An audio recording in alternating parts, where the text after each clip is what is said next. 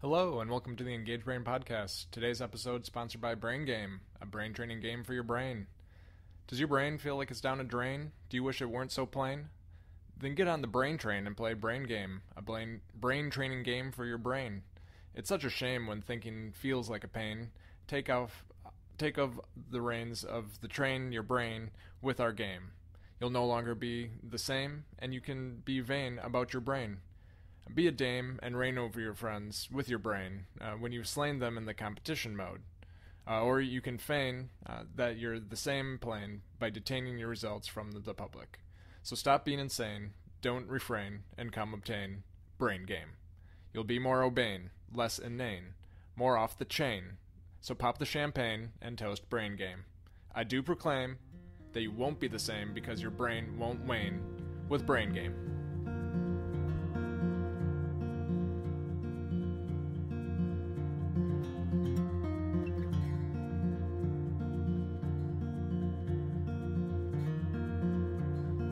Stopped to ponder what it means to be a human, or what is human being? We may look to certain cognitive abilities from memory or language to the self, maybe even personality. There seems to be a number of unique human abilities. In my own research on memory and language, I'm always amazed uh, by how the line for what qualifies as something like autobiographical memory or the ability to produce language changes as we observe animals like scrub jays that are able to show uh, knowledge of what, when, and where, uh, or when bonobos are able to learn hundreds of lex- lexicograms, and how scientists kind of move the definition of uh, what autobiographical memory is or what language is around as these animals seem to show kind of former definitions of, of those abilities. Uh, so the fundamental aspects of human thought and cognition have been pondered and explored since antiquity. Beginning with philosophers and more recently neuroscientists, researchers have been probing the mind and now the brain for answers. Today I speak with Calvin Trisolini about humanness and what it means to be.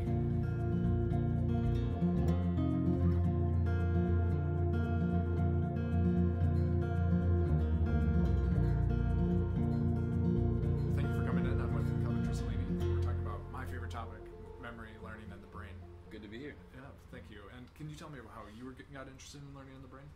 Yeah, um, I am a philosophy major, um, and I spend a lot of time thinking about the brain. I'm taking a philosophy of mind class right now. Um, and I've taken a lot of classes about knowledge and learning and the mind. Um, and so I wanted to get a more detail-oriented scientific approach um, to the brain and learn a little bit more about how it actually works Mhm, and how things function. I'm going to challenge you here. What, what are philosophers saying about learning and knowledge? Yeah, it's really interesting. Well, I mean, it's cool because I think since like early modern, like or, or not even modern philosophy, like early philosophy, like Plato, Aristotle, Mhm. um, people have been talking about about this stuff, and interestingly, I think it, it hasn't changed that much. Like what people talk about, um, which I think it's cool that we can talk and develop new ideas, um, and it's really interesting that 2,000 years ago, we still had the same ideas that we do now. And I think people don't understand that, that philosophers like accept scientific findings and like Mhm. understand them. Um, but that doesn't change the, the way we, we think about about the issues that are more uh, hand wavy. yeah. Uh, so, in your research in neuroscience, uh, Mhm. what have been some of the more interesting findings that you've found so far? Well, I've been looking at um, about again like the mind and how like what makes the human mind unique. Mm-hmm. Um, and one of the things I've been looking at a lot is self awareness, um, like a, a person's ability to recognize and like and like metacognition Yeah. Um, and kind of the limits of, of that, what that like, how we can define self self knowledge, um, and whether other rational animals have that ability. Yeah. Uh, have you seen some of the tests for uh, testing self awareness in animals? Um, yeah, I, I actually I looked at some some stuff that were that was like mostly problem solving type, Okay. type things, um, and it's also a really interesting thing that I've learned is is that monkeys there are certain apes that that imitate a lot, Mhm. um, but interestingly humans are the only animal that um, just naturally without training will learn language, Yeah. which is fascinating to me.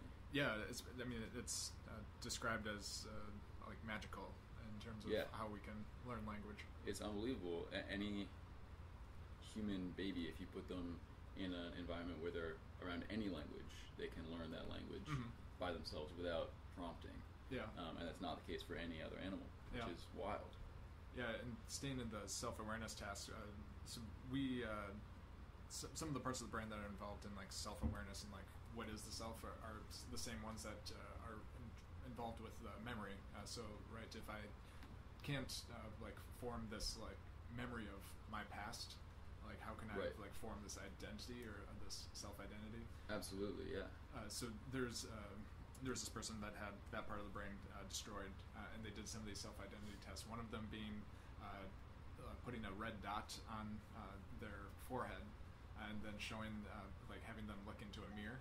And uh, the self awareness task was to be able to like look and see, recognize who you are in the mirror, and remove the um, red dot from their forehead. Yeah. And so uh, they've done that with apes as well. That there's uh, some chimpanzees and uh, bonobos and some of those other kind of higher apes, Yeah. uh, where you put it uh, a red dot on their forehead, put show them a mirror, and they'll remove the, the red dot.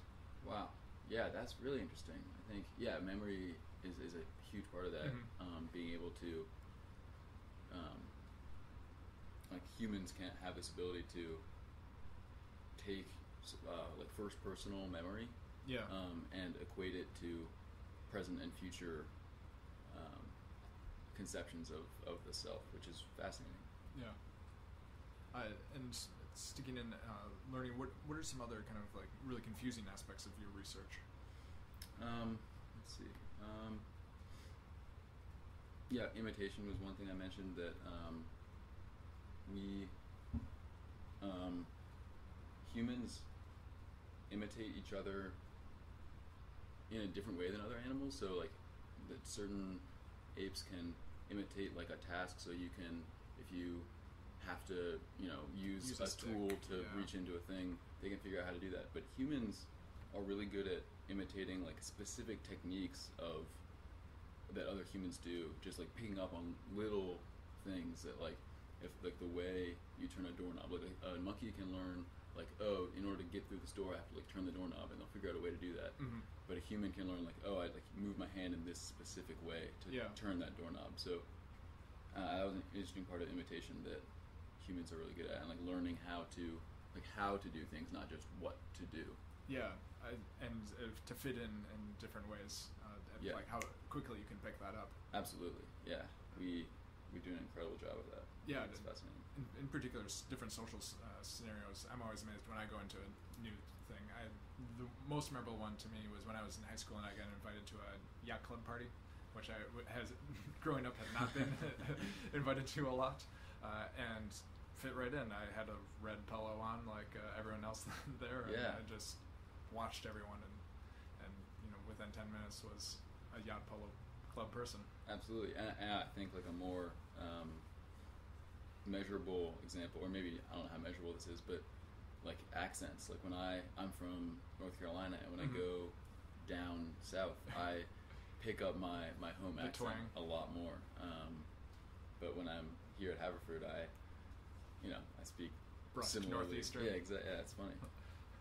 Yeah, uh, I've seen that with other people almost to an annoying, annoying extent. So, like uh, your friends uh, come back from England and they have like a Cockney accent or something. yeah, absolutely. Yeah. Uh, and but then another one I just I watched uh, American Psycho I don't know a couple weekends ago Uh-huh. and uh, like the main character in that describing how he observes everyone to fit in. Um, it's an old movie uh, with Christian Bale. Uh, Yeah, I've seen it. Yeah, yeah, yeah. and he he has very um, like a structured. He, he has like a understand like a explicit understanding of trying to imitate It. yeah Yeah, other people. which is really cool. Yeah, and that's something that uh, everyone is thinking about in terms of how they're, who they are, and then who they try to uh, project. Project. Yeah, right. Uh, and uh, so you uh, mentioned uh, your BuzzFeed article. I have to say the name of it. Ten facts that you uh, don't know about learning in the brains. Number five will literally make your head explode. Mhm. Uh, subtitle: Seriously, don't read number five. Your head will literally explode. Uh, Uh, when I first read that, I started laughing and in my office. I think people around me thought I was crazy. uh, but what have other people thought about uh, your article? Well, I thought um, so. I, some of my friends came across it because uh, just like through Twitter, and um, they they were surprised. They they um, the, I think the title is a fun, just like clickbait uh, title, which Yeah. I had a good time. I, I thought um, I wanted to add a little bit of humor and make Mhm. it um, just more appealing to like your whoever would come across it. Yeah. Um, and yeah, I think that's been the reaction. I, I tried to pick like images that were Mhm. fun. I picked a Planet of the Apes, Yeah. just like a monkey with a little snarl holding a shotgun, um, which with, with the with the title with the uh, subtitle, this is getting confusing. Yeah. Um, so yeah, I think that my the reaction that, that I've seen, which is like minor, um, but I, it, it's been positive, and, and it was a fun article hmm to write. I think it's been a fun fun one to read. I hope. Yeah, it was kind of like a, a sneaky way to make have make people learn things. Right. Yeah. Uh, in, in particular, like uh, the last two points, uh, taking a break to help uh, people learn, and uh, that being in a good mood uh, can uh, put you in a, a better way place to remember things. Right, which I learned in your class. Yeah. yeah. Yeah, so uh, I think uh, trying trying to translate something that can be very confusing, so the self, memory, differences between humans and other animals, uh, and having uh, making it entertaining, uh, using things like monkeys. Uh, Yeah, I mean, yeah, a- and, and like the funny pictures, I think I've noticed since I've been learning more about this that Mhm. like when I see like a fun infographic that has like you know silly aspects, Yeah. it makes it makes it easier for me to like get like jump in and like have a good time reading it. And I don't even realize that I have read the whole article. yeah, yeah. Uh, so, do you think uh, going forward that there's any new or developing areas of research that uh, you're particularly interested in? Yeah, um, definitely. I'm I'm still trying to figure out, um, I guess, how to define some terms, like uh, how to define the mind as opposed to the brain, and Oh, okay. um, which is, I guess, like a big thing. And, Yeah. and uh, I guess I don't know if you you can separate the two, um, but yeah, I don't know, that's a really interesting. I'm I'm interested to see how much neuroscience has to say about the difference there and, and what the mind consists of. Yeah, yeah. I think that's kind of the one of the unanswered questions of, of neuroscience, and it's something Yeah. that basically people wait their entire career to do. Uh, so, like uh, a big person, uh, Antonio Damasio, Mhm. uh, kind of did his career, built his career on uh, decision making and emotion, and now he's trying to explore consciousness. Uh, well, in particular, he was looking at like uh, brain damage. What happens when you just like yank a part of someone's brain out? Does that change who they are fundamentally? Right. Uh, so, like, what do, what is that connection between mind and self? Yeah, and, like personality, self. Personality. Yeah, and the brain. right. Yeah, that's really interesting. Um, Because he was looking at a, a patient group where they received damage to the ventromedial prefrontal cortex, and uh, he called the behavioral effects of that afterwards acquired sociopathy. Hmm. Uh, so Wow. here you could like make psych, uh, sociopaths or psychopaths damaging a, one part of the brain. Wow. Yeah, that's that's crazy. I think. Yeah, it's really interesting to see like what. Um, I mean, I guess lesion studies would be a really good way to figure out um, what parts of the brain are fundamental to or necessary um, for a conception of self, or or even just like the existence of a self. Mm-hmm. Yeah, and the one I was mentioning earlier, uh, where the um, kind of memory centers were removed uh, in this individual, and he still had like this idea identity of who he was. You know, I'm this person. I like these things. I grew up in this place. Uh, so, like, how much can we remove from like someone's past and uh, you know, and change them in different ways, and they still have this core essence of who they are. Yeah, I think it's I think it's interesting because memory is something that doesn't seem like a. Um, it seems very connected to self and not necessarily like a, a functional part of the brain where, where we do things Mhm. um, actively and it I don't know it's it seems to me like it's more closely related to personality and, and the mind than Mhm. like the functions of the brain like making the body work Yeah. um, yeah, I think memory is a, a really going to be a, a key part of my research. Mm-hmm. Yeah, and do you think having uh, some of this background in neuroscience now is changing how you're approaching uh, your philosophy topics, like philosophy of the mind? Yeah, definitely. Um, I think in class I just have a slightly different view. I feel um, a little more confident in what I say about the brain. I think um, and the mind. I think my my research and my papers that I write in philosophy now, I, I'm doing less just kind of guessing about Mm-hmm. functions and and um, and that's really propelled my ability to um, uh, just be confident when I talk about you know what humans are capable of Yeah. with their minds. Yeah, and is that class uh, up at Bryn Mawr? No, that's at Haverford. Oh, it is. Okay. Danielle Macbeth. Okay. Uh, interesting, because I, I was I'm familiar with uh, Adrienne Prettyman up at Bryn Oh, yeah. I know she does philosophy of the mind. So. Oh, interesting. Yeah, I haven't ever taken a class her. Yeah. Well, interesting. So I think uh, wrapping up here, do you think that there's any kind of one really important thing that you want to mention or communicate about your research? Um, yeah, I think it's um, it would be that like there are I I think there must be things that make us uniquely human. Um, and I guess I'm not prepared yet to say what those are. Yeah. But I think that's the most important part of the research for me is figuring out what those fundamental differences are. Um, I think they, they relate to language, they relate to memory, Mhm. and um, maybe even language more so than memory. I, I think it's um, yeah. So, so language, memory, and like personality. I think are the three key things that I am looking at in trying to figure out what those you know categorical differences are. Yeah. All right. Uh, so then the last question: uh, anything that uh, you'd like to promote coming up? Yeah, um, Haverford College Ultimate Frisbee uh, is a is a club that I'm a part of. Um, we're a competitive ultimate frisbee team. You can like our Facebook page, Haverford College Ultimate. Um, we're traveling to South Carolina this weekend for Easterns, D3 Easterns, which will determine how whether we can uh, have a chance to qualify for nationals. Wow. Well, good luck. Thank you. And uh, we'll end there. So thank you for coming in. Thanks. Yeah, I had a good time.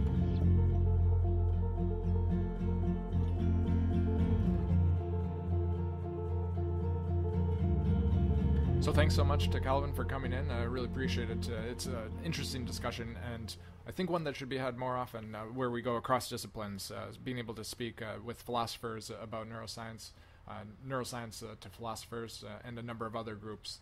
So being able to have that conversation was great. Looking to the last two segments of the show, I'm not going to do Jake's jams today because, as I said in the previous episode, I'm kind of running out of things to talk about, things I'm interested in. Uh, so I'm going to bring up scholar notifications and uh, self-indulge with uh, two notifications from my own work. Uh, I think since they connect uh, somewhat to the uh, discussion today. So one of them being a new method for assessing the impact of the medial temporal lobe's amnesia on the characteristics of generated autobiographical events. This was a work with Arielle Lenton Brym, myself, Shayna Rosenbaum, and Signy Sheldon. And here we are looking at the ability of individuals with uh, MTL amnesia to generate uh, events and then describe those events in uh, further uh, detail. And so after they, we created these event constructions from the events that they were talking about. We sent them out to over 450 online writers using MTurk uh, to rate them for a number of different qualitative dimensions uh, that seem to vary with autobiographical recall, things like frequency, significance, emotionality, imaginability, and uniqueness. And what we critically found was uh, that the MTL amnesia were more prone to select events that were rated as fre- occurring more frequently uh, than healthy control uh, participants. Uh, so uh, already when they're just choosing an event uh, to then narrate in further detail, they seem to be talking about some things that they're more used to happening. They're less unique and kind of special events. Uh, so they seem to be rel- relying more heavily on semantic memory processes uh, and selecting these kind of generalized events. Uh, and so I think that's really interesting how um, oftentimes we've been looking at uh, the production of these narratives or these memories, uh, you know, after they've selected them. But here we're showing that in the process of selecting them, they seem to be doing something a little bit differently, uh, and how in- interesting that is. Uh, and so that was uh, with undergraduate researcher Arielle Lenton Brym as the uh, the first author, uh, and under uh, Signy Sheldon as her, I think her first senior author paper as she started up her lab up at McGill. Uh, and uh, now turning over to uh, another paper. Uh, oh, I'm sorry, and, this um, new a novel new method for assessing the impact of medial temporal lobe amnesia on the characteristics of generated autobiographical events. Uh, that was in Neuropsychologia, uh, 2016. Turning over to another paper, again self-indulging. I'm talking about a new paper with Dave Warren and um, my graduate mentor Melissa Duff. Uh, what relates newspaper, definite, and clothing? An article describing the deficits in convergent problem solving and creativity following hippocampal damage, uh, which is currently an accepted article at Hippocampus, and uh, it will soon be published uh, as an edited article um, fairly soon. Uh, but uh, this was a follow up to a, a study a couple years ago where we looked at uh, the Torrance test of creativity in individuals with amnesia and showed a, a significant deficit in their creative thinking. Uh, and uh, here, instead of relying on divergent thinking, or how that test was a test of divergent thinking, trying to create as many uh, possibilities uh, from something like uh, how would you make use of strings hanging down from clouds, or how many thing uses of, for a cardboard box can you think of? This test went the other direction and looked at convergent thinking. Uh, and so uh, creativity seems to rely on this diverse set of processes, both convergent and divergent thinking. Uh, and uh, so we were trying to look at uh, convergent problem solving, where we gave individuals these triads like newspaper, definite, and clothing, and they had to come up with the word that tied all three of those together, something like article. And uh, here we found that uh, the participants with hippocampal amnesia uh, were, again, producing significantly fewer correct responses than their healthy comparison group, indicating that the hippocampus is necessary for normal convergent problem solving, and that uh, affects their uh, creative thinking, uh, in particular across short intervals. Uh, and so uh, that was nice uh, to see the uh, problem both in convergent and divergent thinking. Uh, and so now with uh, two articles on creativity, I, I consider myself a minor uh, creativity researcher. Uh, and so that paper again was uh, rapid communication in the journal Hippocampus. Uh, it's accepted currently, uh, and there's an unedited version up on uh, the website. Uh, there should be an edited version coming up soon. Uh, but that was uh, with the senior author uh, David Warren, who's just started up his lab out in Omaha, and myself and my graduate advisor Melissa Duff. Uh, what relates newspaper definite and clothing? An article describing uh, deficits in convergent problem solving and creativity following hippocampal damage. Uh, and so then turning to the last part of the show, reader mail, Twitter tweets, uh, still nothing, uh, but you can reach me at uh, EngageBrain on Twitter, or uh, you can email me at my last name at gmail.com, and you'll be able to find, uh, or there you can email me about any questions that you have that I can answer on future shows, or with any suggestions for topics that I should cover in those future shows. So please uh, send your tweets uh, my way, or your emails my way, and I'd love to uh, start answering them. Uh, so this has been the Engage Brain podcast. Thanks for listening.